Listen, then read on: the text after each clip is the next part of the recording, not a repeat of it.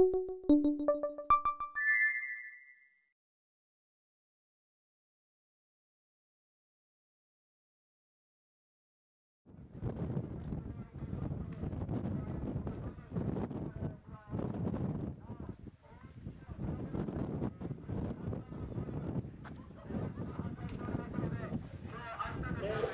ベント関係はねここずっとここ体験っていうかここややってから8回目なんだけど。ずっと同じペースでやってます。毎年来てます。だからあの地震がなって9月8月いっぱいは出す出される出すものは全部売りました。ってことは浜鳥にさあ野菜がなくなっちゃってここはもう出せ出したものは全部売れたの。そして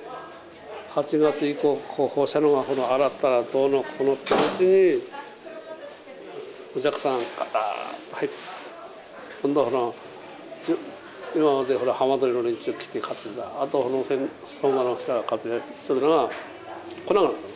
たでも放射能調べてるって言い張ったっけいくらか来て買いになってますで今度仙台方面は来なくなったそれは確か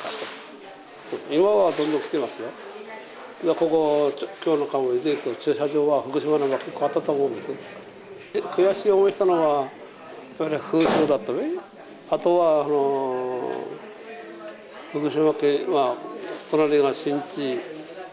南はそうなんだけどあと伊達君がこれ両側であから丸森だけ飛び出てるところが福島県は20、まあ、丸森は8万あ4万か。あれはおかしいよねって言ったの、まあ、ここで東電の保証が来た時言ったらね面白く言いました。あの高いところが福島県の境ですよ。俺はあそこに変わってねえんだけどあんたらから見えるのかって言ったって黙って書きました。そんなエピソードありました。だから自然薯はね一番いいメインのあのメインだと思いますよ、うん、いやただ売れメインで売れるのはキノコだけだと。キノコとタケノコはどうして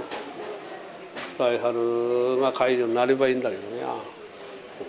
あちょこちょこやってますよ。うん、今回やってあと12月ちょこっとしたお正月用の景品を売ったり。あと1月なれば売り出しやって4月の記念行事っていうことは今度は9周年記念っていうことかなそういうの入りますんで、うん、あの小さな盆地だけども美味しいものがいっぱいあるところで人情味のあるところだと思います。ぜひ来てください。